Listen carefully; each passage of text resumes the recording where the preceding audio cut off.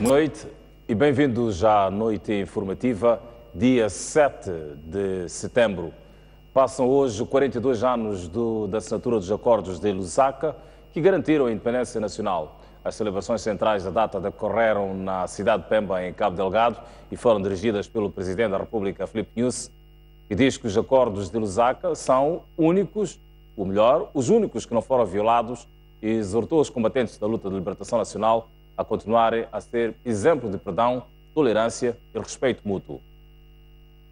As cerimônias centrais do Dia da Vitória iniciaram logo pela manhã com a deposição de coroa de flores no monumento erguido em memória aos heróis moçambicanos na cidade de Pemba. Depois deste ato, que contou com a presença de várias individualidades, o chefe do Estado inaugurou a sede da Associação dos Combatentes da Luta de Libertação Nacional. No comício marcado por ocasião da data, Felipe Nunes exaltou os feitos dos combatentes e pediu para que continuem a ser exemplo de perdão, tolerância e respeito. Vocês são uma geração depositária de experiências capazes de contribuir para a defesa da nossa independência, da nossa soberania, para a defesa de diferentes etapas da nossa história como um povo. Os acordos de Lusaka são dos acordos mais firmes jamais vistos de que este país se orgulha em fazerem parte da sua história.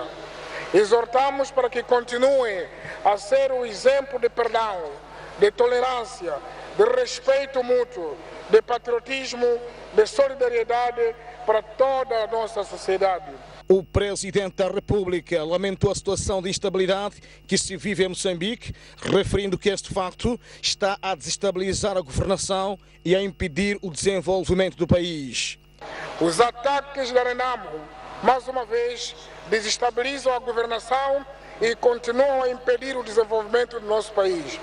A Renamo continua o partido armado, está a matar as populações, as lideranças comunitárias e estruturas locais. A Renamo já começou a matar combatentes. Ainda hoje, esta manhã, a Renamo atacou o posto administrativo de Moaquia, em Mocuba, na província de Zambésia. São nítidos atos de alguns moçambicanos que pretendem destruir o que foi ganho com sacrifício e construído pedra a pedra ao longo dos 41 anos da nossa independência. Antes deste comício, o Presidente da República, Filipe Nunes, assistiu ao desfile de cerca de 7 mil combatentes. Na mesma cerimónia, os combatentes da luta de libertação nacional pediram armas ao Presidente da República para combaterem a Renamo e o seu líder, Afonso da Cama. Os combatentes dizem ainda que confiam na capacidade do governo de resolver os problemas e não vão aceitar que qualquer outra força se intrometa nos assuntos internos intervindo por ocasião das celebrações do Dia dos Acordos de Lusaka, esta quarta-feira, que coincidiu com a realização do terceiro Festival do Combatente, o secretário-geral daquela agremiação saudou os esforços empreendidos pelo governo tendentes ao alcance de uma paz verdadeira. Ainda assim, Fernando Faustino disse não ter dúvidas de que os inimigos do país serão derrotados. A Renamo o seu líder não temos dúvidas de que são agentes do imperialismo, que sempre negaram a liberdade do povo moçambicano. Por isso, tratemos a eles como inimigos do povo moçambicano, cujo objetivo fundamental é de criar confusão e desordem no nosso seio. Mas queremos em viva voz alertar-os que serão derrotados do mesmo jeito que os colonos foram escoraçados da nossa pátria. Fernando Faustino largou as suas críticas àqueles a quem considera estarem a se intrometer na governação do país, tendo pedido armas para combater a Renamo e o seu líder Afonso Jacama. Queremos chamar a atenção e repudiar todos aqueles que se interferem aos assuntos da governação do nosso país, pois o nosso governo é sobejamente inteligente pelos assuntos pelos quais foi instituído pelo povo moçambicano. Por isso, basta de se intrometer em assuntos domésticos de que não lhes dizem respeito. Nós estamos cansados de sermos mortos como se fôssemos galinha. Queremos arma. Queremos ensinar o Jacame Arenamo, camarada presidente. Este é nosso pedido. Nas cerimônias do Dia da Vitória foram homenageadas algumas figuras pelos seus feitos de sacrifício demonstrados pela causa da independência nacional. Outras vozes da luta de libertação nacional dizem que os maiores desafios do país são o bem-estar social e a estabilidade política. Os veteranos da luta pela independência nacional juntaram-se logo na manhã desta quarta-feira na Praça dos Heróis Moçambicanos da cidade de Pemba, em Cabo Delgado, para a deposição da coroa de flores dirigida pelo Presidente da República, por ocasião do dia em que, há 42 anos, o Estado português reconheceu o direito do povo moçambicano à independência. Para os veteranos da luta, resta agora manter a soberania e combater para libertar o país nos campos econômicos, social e cultural. Não era só a liberdade política, mas era econômica, cultural e social. Portanto, estamos a construir o social, estamos a construir o econômico e a desenvolver o cultural. Portanto, o desafio é, é como manter isso tudo perante muitas adversidades que vão surgindo ao longo dos tempos. Eh, mas são desafios que nós podemos vencer e estamos a vencer. Desafios são esses que temos que construir agora um Moçambique independente, próspero, onde a ciência domina. Ciência para poder eh, nós agora em Moçambique sermos autossuficientes em todos os aspectos político, econômico, social e econômico em particular. É isso que desafios que nos moçambicanos devem enfrentar. O nosso desafio é arregaçarmos as mangas da mesma maneira como os libertadores arregaçaram, construirmos o nosso país. Convencer os jovens para assumirem as tarefas, as tarefas atuais. Este é o maior desafio. Para tal é preciso preparar o homem, como nós fomos preparados para encarar e assumir a luta contra o colonialismo e libertar o país. Os antigos combatentes consideram ainda que 42 anos depois dos acordos de Lusaka, o país registrou um desenvolvimento assinalável em todos os setores. Reconhecem, no entanto, que ainda há desafios. Moçambique, ontem colonizado, tornou-se independente.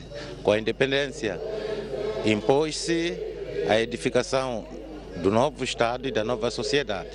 E isto foi possível, tanto pela, se olharmos para aquilo que é o desenvolvimento na construção, hospitais, estradas, entre outros aspectos ligados a infraestruturas socioeconômicas e culturais do nosso país. Tínhamos um único partido, agora temos muitos partidos. É um crescimento na área política. Tínhamos uma única universidade, Eduardo Mondlane, em Lourenço Marques, na altura Universidade de Lourenço Marques. Hoje é Universidade Eduardo Mondlane está espalhada em todas as províncias através de delegações. Agora temos a Universidade Pedagógica, que forma professores para substituir aqueles professores coloniais que fugiram a Moçambique. Temos institutos de ciência de saúde em todas as províncias. A deposição da coroa de flores na Praça dos Heróis Moçambicanos de Pemba foi abrilhantada pela atuação da banda militar e contou com a presença de vários cidadãos, sobretudo a nova geração, que é convidada pelos veteranos da luta de libertação a assumir o protagonismo nos atuais desafios do país. Pois bem, estivemos a ver, eh, a acompanhar alguns ecos da celebração do Dia da Vitória, 7 de setembro, hoje, portanto, em Cabo Delgado, mas precisamente na cidade de Pemba. Eh, e agora partimos para o nosso momento de debate ou de análise.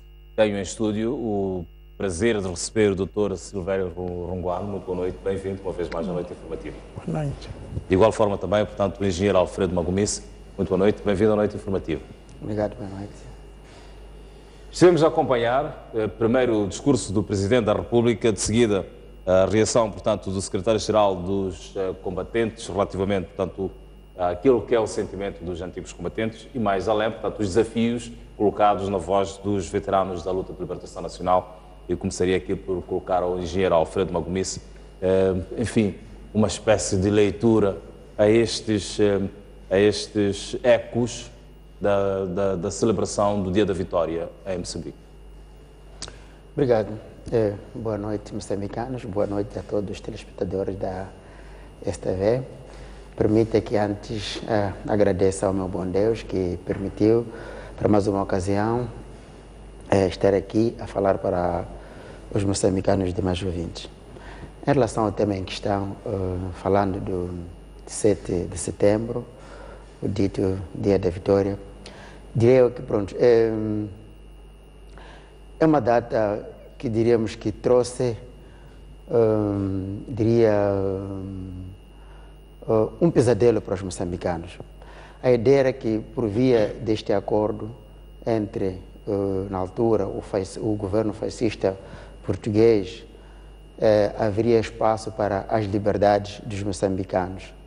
Mas, pelo contrário, foi uma substituição de um fascista por um marxista-leninista. Como podemos ver, a Frente de Libertação, quando é formada, ela surge como uma aliança, como uma, plataforma que congregava uh, três partidos fundamentalmente. E este projeto foi abraçado por vários moçambicanos que concordaram que, na altura, esgotados todos os meios, uh, a luta armada era a única via para libertar Moçambique, para libertar os moçambicanos, e assim os moçambicanos assim confluíram uh, no projeto. Durante a luta, os ideais da, da Frelimo como plataforma foram sendo desviados por um grupo de saudosistas, por um grupo de marxistas que foram até, para essa expressão, em algum momento, eliminando as figuras que concordavam ou que tinham a ideia inicial da, da, da plataforma. Também permite aqui, diga aqui que até uh, mesmo o presidente Mondlane, como se diz, não foi um dos fundadores, não foi fundador do Partido Frelimo. Então, a ideia era que, com o acordo, poderia se permitir haver uma abertura ampla para que os partidos que, na altura, afiliaram-se à plataforma conjunta pudessem ter a liberdade e, por via disso, pudessem ser instituídas as primeiras eleições em 1975. Essa era a ideia de muitos. Mas um, o governo frelimista, o governo samurista, não foi assim que fez, desviou uh, a intenção, o ideal dos moçambicanos para um governo marxista-leninista. Portanto, é com muita dor e preocupação que os moçambicanos celebramos esta data, esta data. Como podemos ver também nas peças que passaram, foi uma data altamente partidarizada, uh, os, os, festejos todos uh, partidarizados do ponto de vista só para Frelimo. Portanto, esta é a ideia real que uh, os dirigentes da Frelimo têm. É moçambicano, é cidadão, só aquele que aceita ser subjugado pelo regime frelimista. Se alguém não aceita ser subjugado, não pode ser moçambicano. Vimos as, as, as peças que ali passaram. Portanto, é, é, uma frustração. Por que, que julga, por exemplo, que eh, quer a Renamo, o MDM, eventualmente, não se tenha feito representar nesta, nesta, nesta efeméride, nesta, nesta, nesta data, que é, aliás, aberta para todos os moçambicanos? Bom, uh, aberta, como, como diz, né? a STV passou ali uma peça, viu né? como que eram os discursos. Mas eu acho que esta questão, a Renamo, só excelência Presidente da Câmara, já explicou subejamente a razão pela qual, por que nós da Renamo não participamos nas semanas dessas. A ideia é essa. Ainda não há uma preparação por parte dos dirigentes da Frelimo, ou, melhor dito, eh, na cabeça dos dirigentes da Frelimo não existe clareza, separação entre o Estado, o governo e o partido. Nestes termos, não sabem dizer quanto é que uma festividade, uma comemoração estadual, quanto é que uma comemoração partidária, quanto é que uma comemoração do governo. Então fica muito difícil. Como as mensagens todas que for, passaram ali pejoravam os outros, outros partidos, insultaram o nosso presidente. Então fica muito difícil conviver com gente como essa. De todas as maneiras, estamos a fazer um esforço para que uh, a médio e longo prazo possa haver convivências através da demonstrando, mostrando aos demais cidadãos de, eh, de, de, bom sentido do Estado para que as coisas não podem continuar assim. Foi uma vergonha, como vimos as peças que ali passaram, a dissonância entre os próprios membros da Frelimo. Uns falam de paz, outros falam de, de guerra, uns falam de desenvolvimento, outros falam de, de insultos. Portanto, isto torna muito difícil. Portanto, no dia em que estas datas ditas, tidas como datas eh, estaduais forem, não forem partidarizadas, ali a Renamo, o nosso partido, estaremos em condições de participarmos para sermonas do Estado. Querendo, a Frelimo podia fazer mais tarde nas, suas, nas suas sedes. Portanto, esta é a razão principal que faz com que nós estejamos lá. Pois bem, doutor Silvério Romano, 42 anos após a assinatura, portanto, dos acordos de Lusaka, hoje o país volta a ver, portanto, um momento com alguma euforia. Entretanto, eh, os discursos, no momento, eh, portanto, contexto, no contexto político atual, eh, dentro mesmo da própria Frelimo, pareciam tender em sentidos contrários. Portanto, o secretário-geral dos combatentes a pedir, quase que a exigir as armas, armas ao Presidente da República para combater o líder da RENAM. Vimos os veteranos a apelarem, portanto, no sentido de alguma contenção, se quisermos assim, assim chamar, portanto, para se alcançar os desafios que se propõe ao país, que é a estabilidade económica, política e social. Como contextualizar, como olhar, portanto, para, este, para, este, para, este, para esta questão? Muito obrigado por colocar essa questão. Eu penso que quando celebramos ah, datas históricas ou quando nós olhamos para a história do nosso país, temos que fazer uma escolha. A primeira opção é nos confrontarmos com ela, não é? A segunda é nós nos apropriarmos. Eu achei interessante que um dos combatentes, penso que é o Salésio, disse que não, os jovens têm que se apropriar desses processos. Eu acho que esta é, a, se calhar, a posição mais interessante, porque de fato há uma historiografia que já foi feita, há um conjunto de acontecimentos que assistimos e muitas das vezes nem são agradáveis nós podemos escolher retribuir com a mesma pedra que nos lançam na cara. Então estaremos nisso, no ping-pong, diz isso, eu não concordo. E nunca saímos desta, desta situação. Agora, a verdade é que o país onde nós vivemos, para bem ou para mal, é este. E não temos outra pátria. E todos os feriados têm o mesmo tom. Então nós podemos escolher nos colocarmos à margem, à espera do momento em que haverá finalmente a justiça, o bem-estar, e aí começaremos a viver como, aliás, é o apanágio de muitas religiões, que este mundo é o um mundo do pecado, decaído, de problemas, e alguns decidem não vivê-lo à espera da vida eterna que é a vida da felicidade eterna. Eu respeito muito este ponto de vista e acho que é interessante, mas reconheço que não seria capaz de pôr parênteses na minha vida por 5, 10, 15 ou 20 ou 40 anos, à espera do momento em que os feriados serão inclusivos, em que os moçambicanos se amarão finalmente. Eu acho que o país que nós temos é este. E o mais interessante, se calhar, é olhar para o passado, mas com os olhos fixos no presente. Ou seja, eu estou um pouco me marambando se assinou, se concluiu, não se assinou, se isso foi importante, se não foi importante. O que é interessante para mim é que efetivamente houve um acontecimento no dia 7 que pôs fim a uma guerra, a um conflito, e iniciou uma nova etapa no Estado moçambicano, o que significa que a partir daí e é considerado este dia dia da vitória. Se meu filho me perguntasse por que, que eu celebro, claramente que eu não estou a celebrar esse dia porque houve uma assinatura, porque a Frelibo, o regime fascista, não estou nessa. Houve um acontecimento importante na nossa história que foi interpretado e conhecido como Dia da Vitória. Agora, como é que nós também podemos transformar esta data num dia de vitória nas nossas vidas? Eu acho que ou nós conseguimos fazer esta ponte em que um acontecimento no passado nos inspira para encontrar um sentido no, no, no presente, ou estaremos sempre a nos confrontar com, com, com o passado. Parece que não é importante estar a celebrar os que foram à luta, tanto mais que depois ficaram chefes, portanto, já foram retribuídos praticamente. Portanto, o que está em causa é que houve um acontecimento grandioso que mudou a nossa história, mudou as nossas vidas, e a partir daí eu também posso procurar perceber, bom, este ano, esses anos que eu vivi, também tive um dia 7 de, de setembro, também já assinei acordos de paz com aqueles que me rodeiam, com os meus vizinhos, com a minha própria história.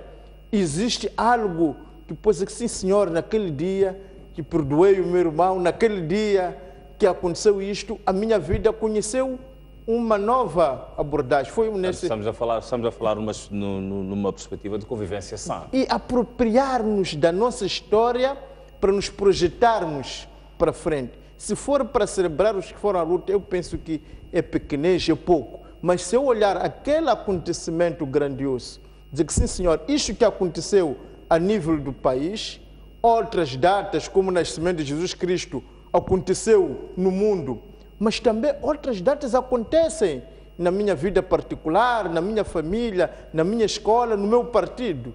Só para dar exemplo, que nós estamos aqui, somos do partido MDM, o que nós fizemos é hoje inaugurar mais uma sede no distrito de Boane. Doutor Ou seja, transformar o, o, discurso, o discurso do Presidente da República eh, alude para alguns aspectos eh, eh, que vamos, vamos fazer, portanto, menção. Entre eles, exorta os combatentes da luta de libertação nacional a continuarem a ser exemplo de perdão, de tolerância e de respeito mútuo.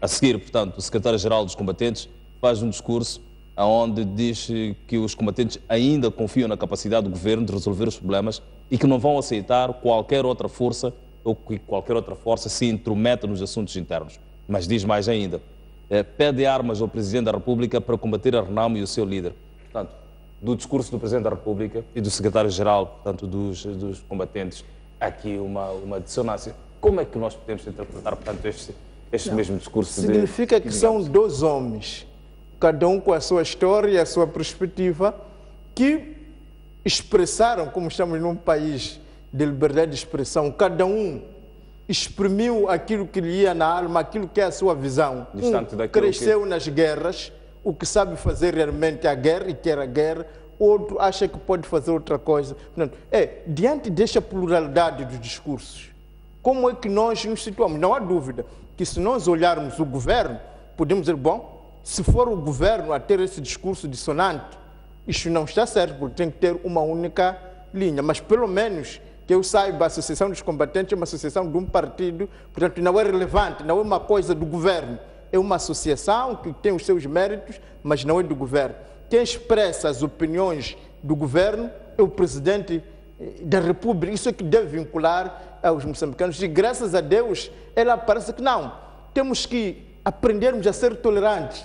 Temos que aprender a, a, a paz. Aliás, até diz uma coisa que para mim é, é dramática e me humilha. Não é o único acordo que serviu foi aquele que assinamos com os portugueses. Ou seja, os acordos que nós, moçambicanos, assinamos são de uma memória.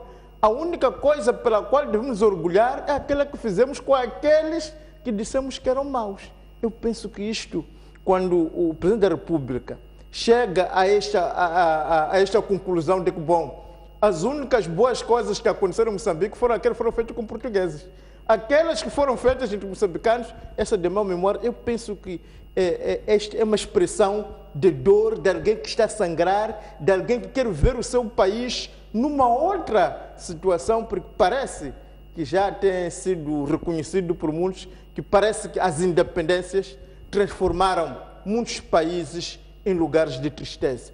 E acredito que o Presidente da República o que quer dizer é que, de fato, se o único bem, o único acordo válido é o que foi assinado com os portugueses, com os tais maus, os colonos. Aquele que os filhos da pátria, os moçambicanos, os tais bons, os operários e camponeses assinaram, é um acordo que não merece ser vivido. Eu penso que é triste. E é por isso que eu estou a dizer: cada um tem que olhar para a sua vida particular, para a sua organização, para o país que quer e posicionar-se. Ao invés de ficar a discutir posições de um comandante ou de um combatente, que são opiniões que, pelo menos a uma pessoa sã, não são interessantes. Mas deixemos que ele expresse as suas mágoas e nós caminhemos para uma outra situação, dizer que, bom, esta data, se servir alguma coisa, é para nós apropriarmos esta data, celebrarmos a data à nossa maneira, como disse o MDM, por exemplo, celebrou a sua maneira, abrindo mais uma frente, a caminho da própria vitória. E acredito que muitos jovens hoje, que não era dia de trabalho, é para colocar mais uma pedra na, na, nas suas casas, eh, puderam estar mais com os seus filhos a ensinar a ler. Eu acho que é esta a preparação da vitória Muito que vale obrigado, a pena pensar nela. Eh, Eu gostava, gostava, de ouvi-lo eh, relativamente tanto àquilo que foi o discurso do Presidente da República em relação portanto, ao Dia da Vitória. Eh, Quais são os principais eh, eh, excertos que se podem tirar portanto, deste discurso do Presidente da República e a seguir portanto, do, do discurso do Secretário-Geral dos, dos Combatentes, sobretudo relativamente eh, aos pedidos que faz cruzando isto com o atual contexto político, eh, social do país? Obrigado mais uma vez. Eh, Permita que diga que é muito difícil fazer análises eh, dos discursos do presidente Nunes, porque ele por si só se contradiz. Hum, já é do domínio público, ele faz um discurso de manhã, à tarde faz um outro discurso, ou ele come- começa de uma maneira, termina da outra. Então é muito difícil compreender exatamente o que, ele pretende dizer, porque ele por si próprio ainda não sabe, parece que não ter exatamente ideia daquilo que ele pretende dizer. Daí que fica complicado. Nós vimos um excerto apenas da, do discurso dele, mas se for a perceber, ele em algum momento fala de tolerância, paz, Perdão. eh, mas eh, perdão, mas noutra, noutra passagem fala de continuar a combater, a lutar contra Renamo, contra eh, o, o presidente Câmara. E hum, só nele, na, na mensagem dele, essa dissonância é um assunto. Significa que é uma pessoa que, por si própria, também não está em, em, em, em, paz consigo próprio. Também está confusa. Quando vai para a organização que ele dirige, que é a Frelimo, fica muito mais complicado ainda. Porque se for a ver a peça, eh, o, o que o ex-presidente Chissano disse e este secretário-geral da também revela claramente que a Frelimo está fraccionada em setores de pensamento, em setores de ideologia que já não se conseguem se apenas ficarem fechados numa sala. Cada um já tem um protagonismo, cada um já pode falar. Não faz sentido onde um chefe do Estado diz que apela à paz, apela a perdão, aparecer um subordinado, porque até agora o presidente da Frelimo é o presidente Nunes e o presidente, da, o secretário-geral também é membro da mesma, da, da mesma Frelimo. Portanto, revela uma clareza, uma divisão clara, é o que existe no partido Frelimo. Daí que fica muito difícil neste momento haver qualquer tipo de consenso para o desenvolvimento neste país, porque a Frelimo não está preparada para mudanças, a Frelimo não está preparada para cumprir qualquer acordo. O, o, o presidente Nunes não foi feliz quando diz que o acordo de, de, de, de, Lusaka foi o único que não foi. Não é verdade. O acordo de Lusaka preferi, eh, preconizava a transferência de poder do colonialismo para o povo moçambicano, não do colonialismo para um outro colonialismo. Só a partir dali, a Frelimo violou o acordo de Lusaka. Doravante, o acordo de Roma foi violado por quem? Pela Frelimo. O acordo de 5 de setembro foi violado por quem? Pela Frelimo. Portanto, isto revela que a Frelimo é uma organização que, neste momento, o país para, o país desestabiliza muito mais pelo comportamento deste partido que dos, dos, dos demais moçambicanos. Portanto, o que eu diria é que eh, eh, eh, estas cerimônias, o que nos trouxeram é tudo infelicidade. A ver pelas dissonâncias, pelos setores que se revelam dentro da própria Frelimo. Uns mais moderadas, a outras, outras mais violentas, como chegou o caso de dizer o, o, secretário-geral da, da clínica. Eu não sei se ele falou emocionado, porque parecia-me que abandonou o discurso escrito e foi falar aquilo que lhe vinha ah, na alma e no coração. Duvido muito que aquilo represente o sentimento dos ah, militantes realmente da Frelimo, aqueles que combateram. Duvido muito, porque não estou a ver aqueles que combateram a concordar com aquele discurso. Não sei, em algum momento. Mas Pois bem, os combatentes ins- instaram também hoje, eh, desafiaram os jovens a inspirar-se, portanto, nos ideais dos veteranos da luta de libertação portanto, do país. Como é que os jovens se podem inspirar? Que caminhos, portanto, devem olhar? Que, que ações devem olhar, portanto, desde os antigos combatentes que inspirem, naturalmente, eh, naquilo que são as conquistas para os desafios futuros. Não, é uma boa mensagem. Quando se fala de antigos combatentes, repare-se, não se fala de, de, de só da Frelimo. O presidente da Câmara é um antigo combatente. Portanto, é uma boa mensagem. Foi bom que os jovens inspirem-se nos antigos combatentes. Inspirem-se no presidente da Câmara. É uma boa mensagem. É um, é um combatente que, desde aqueles tempos, lutou contra, combateu contra o colonialismo português, foi-se, veio o, o, o colonialismo marxista, está lutando. Portanto, os jovens, na verdade, devem se apoderar, os jovens, na verdade, devem esperar o presidente da Câmara e continuar a lutar para que o país seja total e completamente democrático e que este país seja o nosso. Os recursos que o país tem precisam de serem explorados e beneficiar a todos os moçambicanos. É uma boa mensagem e o presidente da Câmara é um exemplo a ser seguido pelos jovens. Doutor Longuano, em que medida é que os jovens se podem inspirar nos ideais dos veteranos da luta armada? É isso que eu estava a tentar dizer. Quando nós estamos a falar dos veteranos da luta armada, não estamos a falar de uma pessoa, né, de uma perspectiva, estamos a falar de muitos homens e mulheres que cada um à sua maneira tentou viver o melhor que conseguiu. O que significa que o que nós encontramos no passado são grandes heróis e são grandes vilões. Portanto, cada um, quando olhar para a sua história, quando olhar para os tais combatentes, vai escolher aqueles que lhe inspiram vai escolher aqueles que efetivamente lhe transmitem lições morais para avançar com a sua vida, mas também vai encontrar aqueles que diz bom, valeu a pena, sou feliz porque não sou como aqueles antigos eh, eh, combatentes. Portanto, para dizer que se é para nos inspirarmos naquilo que é positivo, na, na, na tal ideia do, da coragem, do esforço, da, da resistência, do, do trabalho, eu acho que nós temos que pegar nesses valores e continuarmos para frente. Mas se for a pensar que esses antigos combatentes foram, estiveram no epicentro de conflitos, porque é preciso lembrar aos moçambicanos que os conflitos foi com o colonialismo português, foi com os rhodesianos, foi com os sul africanos, foi o Renamo Cafrelimo duas, três vezes. Se for essa história de conflitos que não acabam, cujos objetivos acabam ficando diluídos na luta pela luta, em que já a pessoa, de tantas guerras que entrou, de tantas guerras que aspira, de tantos inimigos que formou, até acaba já perdendo os objetivos dessa luta e passa a lutar pelo próprio sabor, digamos, da luta. E há discursos, aliás, nesta peça nós conseguimos ver isto, que parece haver alguns que é já o, o, o amor da luta pela luta, não é uma luta para atingir aquilo. Portanto, significa que há uma parte da história, há uma parte de exemplos de combatentes que tem que ser rejeitado em, em bloco, mas também há grandes exemplos, há grandes vidas que merecem ser conhecidas, merecem ser vividas. Mas no presente, como no passado, também não vamos encontrar jovens que pensem da mesma maneira, jovens todos bem motivados, bem intencionados a quererem ir para frente.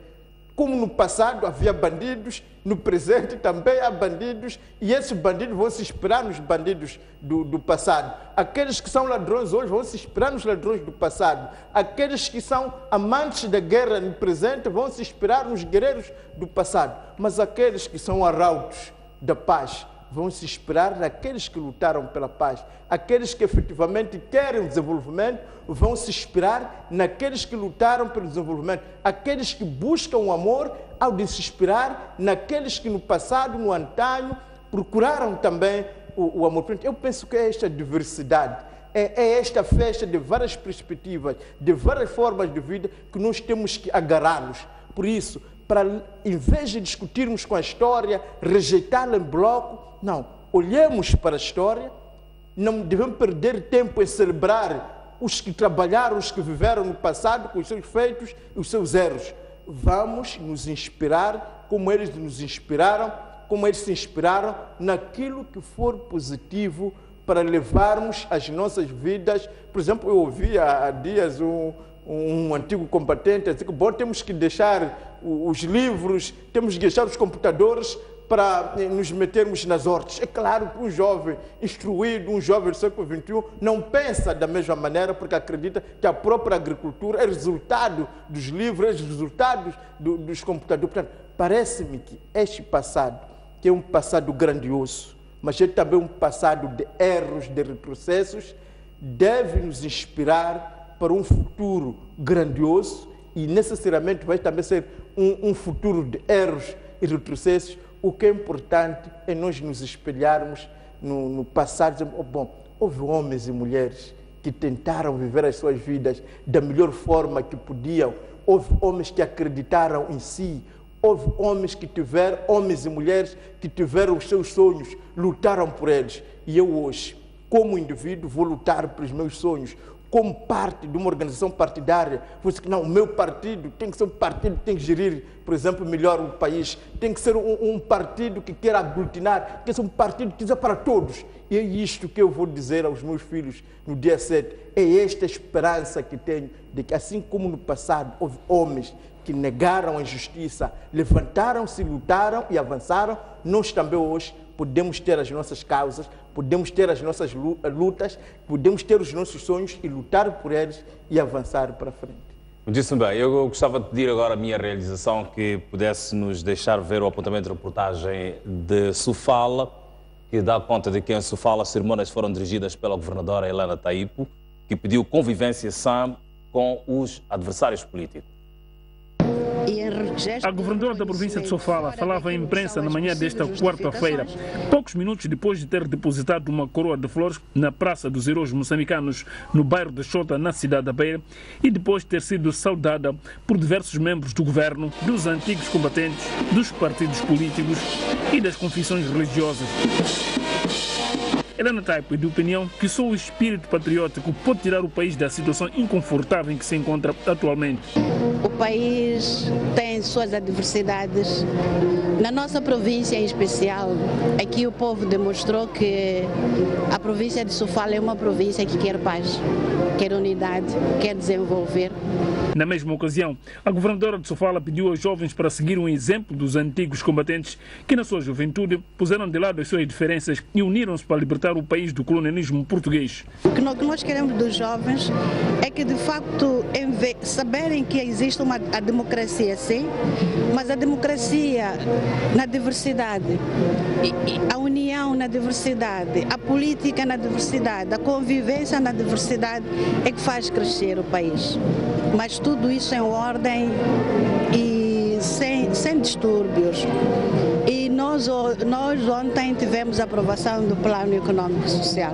Mais uma razão de estarmos felizes, porque a Renam percebeu que, afinal, o governo de Moçambique e, sobretudo, de Sofala, está desempenhando o seu papel na luta contra a pobreza. Pois bem, aqui uh, a intervenção da governadora da província de Sofala, a falar, portanto, de uma convivência na adversidade. Entretanto, eh, a Renamo continua a abdicar, portanto, desta convivência, não estar eh, neste espaço de convivência, não fazer parte, diga-se, deste xadrez, quando as, as datas de celebração são estas. Quando é, que, quando é que nós poderemos ter a Renamo, portanto, a, ter, a participar deste, deste espaço, nestes momentos de convivência? Muito obrigado. Hum, eu já disse antes que este assunto o Presidente da Câmara pessoalmente explicou. Uh, uma das razões era, é, que me disse, é a partidarização destes eventos. Mas eu permita que eu lhe diga alguma, eu diga de passagem, neste momento, a, a situação em que o país vive, não sei se seria confortável para um membro da RNAM ir para uma situação daquelas, provavelmente fosse raptado e ser morto em Sofala. Hermínio, esse, quer dizer, nós estamos a ver aqui um país aparente, nós estamos a ver o país real. Ela estava a dizer aquilo.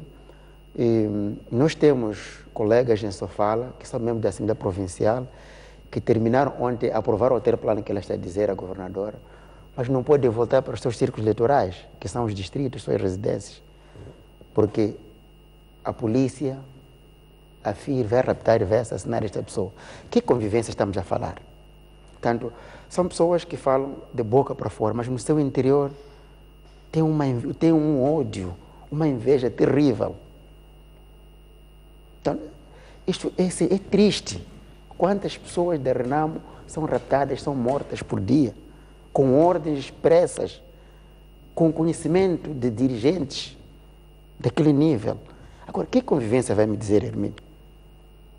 Doutor Sabe, hoje em dia que estou a falar, hoje, sou em Mussurize, foram, foram assassinadas duas pessoas lá na fronteira com o Zimbábue, raptadas nas suas casas. Depois aparece a governadora a me dizer isso. Lá em Sofala, ela sabe que tem membros da Assembleia Provincial que não podem voltar para os seus distritos. Se estão na beira, não estão a dormir no, nos locais onde são conhecidos. Tem que viver eh, como se de, de ratos se tratassem. Pois ela vem e fala isso. Para quê? Está a enganar a quem? Doutor Silvério Ronguaro, há espaço ou não para uma convivência, portanto, na diversidade como a, a governadora Sofala faz alusão, e, portanto, esta inclusão que se pretende eh, de todos os partidos políticos, de todos os moçambicanos nas celebrações festivas eh, de tão alto nível quanto esta?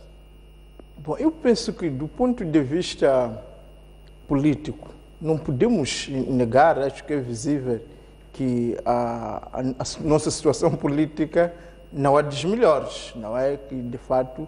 Não. Agora, a questão que se coloca é simplesmente esta. Ou ficamos não é? Também aqui no discurso, é, aparentemente, isso está, tramado. Não há futuro. Isto aqui, você só vai morrer, ou, quer dizer, ali estamos excluídos. E ficamos neste. Outros por seus atos. E nós a seguir pelas palavras. Ou em algum momento vamos tentar saltar para fora disto, para dizer que se, se ela não está a ser sincero, é com ela. Mas não podemos negar que a ideia da diversidade é necessária. Agora, alguém realmente pode perguntar: sim, senhor, está a falar da diversidade, da democracia na diversidade. Mas pelo menos aquilo que as câmaras que nos mostraram são pessoas de um único partido. Onde estão os outros partidos? É justo que façamos este questionamento, que gostaríamos de ver essa diversidade não apenas relatada, mas também eu gostaria de ter visto também o meu presidente a, a ser entrevistado, ver outros membros do MDM, da Comissão Política, aparecerem a, a dizerem da sua justiça. Estamos a falar do ponto de vista político. Agora, a questão é, mesmo com estes problemas políticos que existem, como é que nós, nas nossas casas, dentro das nossas células do, do, do, partido, dentro dos nossos núcleos, dentro dos nossos bairros, como indivíduos, nas nossas igrejas, nas nossas famílias, como é que nós podemos encontrar uma outra forma de fazer com que esta data seja uma data que nos diga respeito? Porque, de contrário, vamos pôr o dia 7 entre parênteses. Então, ou seja, um dia que não foi vivido. Portanto, eu vivi ontem, hoje estava entre parentes, vou viver depois do feriado. Eu penso que é simplesmente deprimente viver desta maneira. É também deprimente se apenas estamos a reconhecer o mal que se pratica, e não é pouco. Isto não é só do ponto de vista político, mas do ponto de vista religioso. Eu penso, hoje, no mundo, se cair, morreram mil pessoas outras foram esmagadas por carros, outras por balas, outros morreram de fome. Este mundo é um mundo tramado. Vamos dizer, bom, há tanto sofrimento, há tantas injustiças, há tantas exclusões, mas nós vamos sair dizer às pessoas, olha, nós, partido MDM, nós, Renamo, nós, Frelimo, eu, fulano tal, mas, mas desculpa, parece, uma vida mas, diferente. Desculpa, desculpa, Hermínio. eu, eu estou a ouvir o discurso deste colega. Parece-me que ele fala, ele está descontextualizado. Não me parece um moçambicano. Parece alguém que vem de uma província lá nos Estados Unidos. Ou de que... Quando tu falas de sair, vais sair para onde? Tu sabes o que, que está a acontecer entre eh, o que, que a Frelimo está a fazer para os membros da Renamo? Vai sair para onde? Diga-me lá, vai sair de onde? Para onde? Tu não podes pensar que uh, é, é, a situação que o MDM tem, que não sabemos quais são as vossas relações com a Frelimo, é a situação que nós estamos. Não... Então, neste ponto de vista, tu não podes tratar as coisas com tão, tão simples assim como elas são. Estou a dizer hoje, a sessão da Assembleia Provincial de Sofala terminou ontem. A governadora estava lá. Os membros da RNAM que aprovaram tal foram para as tocas perseguidas por pessoas mandatários que estão abaixo do poder dela. Que, vão sair de onde para ir para o, para o convívio? Então, tu, quando falas nessas coisas, não, neste, não, é preciso perceber que a situação do MDM, como diz, já disse muitas vezes, vocês estão à espera de uma boleia para depois uh, uh, seguirem. Mas nós estamos a lutar da nossa maneira. E por estarmos a lutar, somos assim perseguidos, somos assim combatidos. Combatidos no sentido de eliminar fisicamente. Não é eliminar fisicamente. Não, esse, esse tipo de convívio não é possível. Ela, governadora, está a ser. Ela fala com um sorriso como se estivesse a falar do fundo do coração. Mas por dentro dela tem uma inveja terrível pelos membros da RENAM. Porque se assim não fosse, aquelas pessoas presas, ela como governadora, o comandante da polícia está abaixo das suas ordens. Como é que isto acontece? Por que, é que não, ela não pode permitir que aqueles membros da Assembleia Provincial eh, possam ir para as suas casas? É neste sentido, meu caro. Você, quando fala desse assunto, tem que falar, perceber que o que existe, há um discurso oficial que faz parte do, do, do, da doutrina frelimista. E há aquilo que é, é a prática da Frelimo. Então, não se deixa levar pela doutrina da Frelimo, a pessoa aquilo que ela fala e o que vai dizer. Não, não é isso. A distância entre a mensagem de um alguém da Frelimo e a ação é de milhares de hectares, aliás, de quilômetros.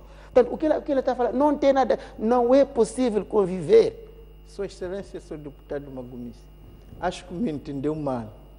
Eu não estava a dizer que Sua Excelência, Sr. Deputado Magumis ou qualquer outro membro da RENAM não pode apresentar o seu ponto de vista lamentando, condenando. Da mesma maneira que ouvimos os da Frelimo também condenando, lamentando. Não estou a dizer que isso não deve ser feito, nem estou a dizer que isso não é real. O que eu estou a dizer é que, apesar de tanto sofrimento, apesar de tantos problemas, eu acredito que o seu deputado vive aqui no Maputo, não é? E, e muito provavelmente passou um dia bom. Agora, que há outros irmãos nossos, que há outros colegas seus do partido que estão a passar maus bocados? Estão, sim, senhor. E temos que ter isso na mente. Agora, o que eu estou a tentar dizer é que, se calhar, em algum momento, temos que olhar para as datas históricas, apropriá-los nas nossas vidas. Estava a dizer muito bem o seu deputado que, neste momento, felizmente, não existe um confronto armado entre a Frelimo e o MDM nem entre a Frelimo, nem entre o MDM e a Renam. Ok? Então, eu não vou viver como se eu estivesse em conflito armado, como o caso da alguém tá da Renam. Mas quando você não está no conflito, você não pode, você tem que perceber a razão daqueles que estão em conflito. Isso que estamos a dizer. Porque no fim do dia, no fim do dia, no fim do dia, o MDM está agora à espera na sombra para que a Renam consiga o que vai conseguir e para depois começar a reclamar. Acho que o senhor deputado não está a reclamar vantagem nesse sentido. Isso é isso que eu estou a dizer. É, é, é, todos os dias lutam. Esse só todos para concluir, é que esse discurso é esse discurso que faz com que a Frelimo diga que só ela lutou e os que não foram à guerra pegar armas não lutaram. Não, mas é preciso o MDM nunca quis lutar. É o MDM está a fazer a sua história, está a fazer as suas lutas. O, a sociedade civil está a fazer as suas lutas. Está a fazer, não da mesma maneira que Vossas Excelências estão a fazer, mas que todos nós, tanto na nossa vida privada, como na nossa vida coletiva, tanto na nossa vida no bairro, como na nossa vida partidária, na nossa vida institucional ou na vida escolar, cada um tem os seus sonhos, as suas lutas está travá-las. E é bom que as trave. Agora, não vou dizer que as minhas lutas são iguais às suas. Não vou dizer que os desafios do MDM neste momento são iguais aos desafios da Renam. É preciso dizer que temos que apropriar aquilo que disse aquele, a, a, aquele antigo combatente, que é, temos que nos apropriar e temos, no fundo, também sermos sinceros e verazes. Eu não posso dizer que estou a sofrer a vida que um guerrilheiro ou com um elemento das forças de defesa e segurança que está a ser atingido neste momento está a viver quando eu estou aqui no Maputo. Portanto, eu respeito a, a vossa luta, respeito a luta de muitos moçambicanos, respeito a luta de muitos frelimistas, mas o que me cativa e me move são as minhas lutas, as lutas do MDM, as lutas do povo moçambicano, e eu penso que somando essas lutas todas é quando temos o tal dia da vitória. Não o dia da vitória sobre o colono, mas o dia da vitória sobre sobre os problemas humanos existenciais que cada um os enfrenta à sua maneira, nos abraçando com amor e não nos criticando, não nos entrando necessariamente em confronto, respeitando as lutas, respeitando a situação de cada um, mas felizmente eu tenho que dizer que hoje, como indivíduo, passei um bom dia, com partido também abrimos uma nova sede e isto é bom, isto é que vai, vai ficar e isto é que vou transmitir aos meus filhos que, olha, assim como outros lutaram de armas, eu estou a lutar agora na televisão com a minha palavra, transmitindo os meus sonhos, as minhas esperanças. Então vamos somar as nossas lutas. Não desprezo a sua luta e penso que não despreza a minha luta. Vamos somar Muito as nossas obrigado. lutas. Muito obrigado. Quero agradecer a vossa presença aqui, portanto, e este olhar, portanto, para a celebração do Dia da Vitória. 42 eh, anos eh, depois eh, da assinatura dos acordos de Lusaka, garantir a independência nacional. Cerimônias centrais foram, portanto, em Cabo Delgado e houve essa palavra de exortação por parte do Presidente da República para que se continue um, o exemplo do perdão, o exemplo da tolerância e também do respeito mútuo. Esteve também a análise as palavras do Secretário-Geral dos Antigos Combatentes, de igual forma também com os desafios que alguns uh, antigos combatentes eh, acham que devem ser os desafios, portanto, para, para, para o bem-estar de Moçambique e o bem-estar social, acima de tudo, dos moçambicanos. Eu espero por vocês numa próxima oportunidade. Muito obrigado, Sr. Engenheiro. Muito obrigado, doutor. Nós saímos agora para um breve intervalo e voltamos já a seguir.